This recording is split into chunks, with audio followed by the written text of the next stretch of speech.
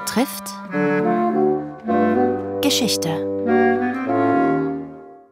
Die Briefbomben zu den Sprengstoffanschlägen der 1990er Jahre in Österreich. Die Fahndung nach den Urhebern des Terrors gestaltete sich schleppend. Wieder Bakondi von der Initiative Minderheiten. Die österreichischen Sicherheitsbehörden waren mit einer neuen Dimension des Terrors konfrontiert. Es fehlte zunächst an spezifischer Ausbildung, aber auch an der Ausrüstung.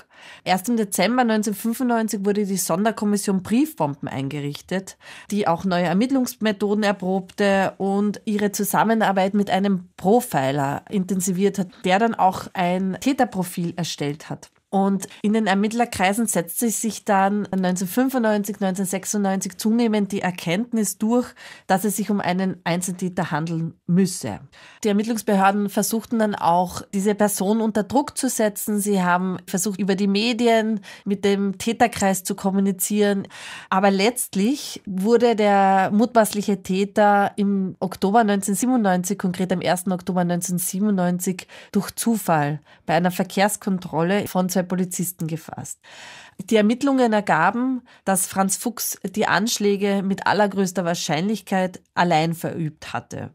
Insgesamt, um sich sozusagen die Dimensionen dieses Falls zu veranschaulichen, umfassten die Ermittlungsunterlagen, die Ermittlungsergebnisse rund 400.000 Seiten Papier.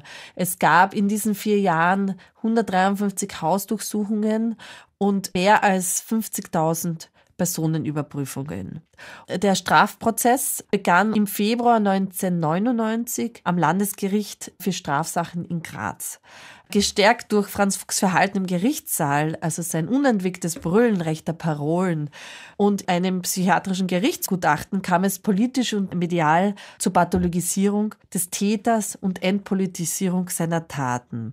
In den Medien war die Rede von krankhafter Eitelkeit, einem teuflischen Genie, dem Sonderling aus Gralla oder einem schwerkranken Psychopathen. So bezeichnete ihn übrigens auch der damalige Innenminister Karl Schlögl. Von den Medien und von der Politik wurde Franz Fuchs vollkommen losgelöst von einem rechtsextremen deutschnationalen Gedankengut gezeichnet. Rechtsextremismus-Experten wie Andreas Peham vom Dokumentationsarchiv des österreichischen Widerstandes bezeichnen die vier Jahre andauernde Terrorwelle als Vorläufer gegenwärtiger rechtsterroristischer Anschläge. Warum Vorläufer? Das betrifft zum einen die Wahl der Opfer. Also die Opfer waren ethnische Minderheiten oder auch deren Unterstützerinnen. Aber auch diese seitenlangen Bekennerschreiben, die verschickt wurden, darin äußert sich ein extremes Mitteilungsbedürfnis einerseits der Täter und inhaltlich aber gibt es hier viele Parallelen auch zu späteren rechtsterroristischen Manifesten. Zu nennen ist die Angst vor Migration und sogenannter Überfremdung, die Angst, dass Traditionen und Gepflogenheiten zerstört werden durch Minderheiten durch Migrantinnen.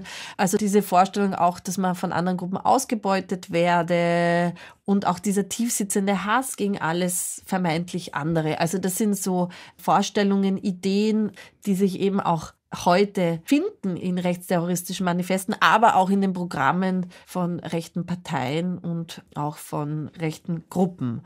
Franz Fuchs wird auch als sogenannter stochastischer Täter bezeichnet. Was heißt das?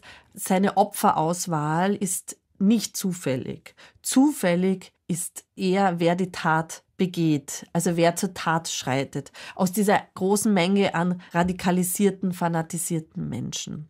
Also diese Taten, diese entstehen eben nicht zufällig im luftleeren Raum, sondern eher derjenige, der die Tat begeht, das ist zufällig. Und diese Gefahr ist heute größer denn je durch die sozialen Medien, durch die Möglichkeit, Hass und Hetze einfach ohne Begrenzung zu verbreiten und hier eben auch eine große Zielgruppe zu erreichen. Das war der fünfte und letzte Teil einer Reihe über die Brief- und Rohrbombenattentate der 1990er Jahre in Österreich mit Vida Bakondi von der Initiative Minderheiten. Redaktion Robert Weichinger, Gestaltung Rosemarie Burgstaller.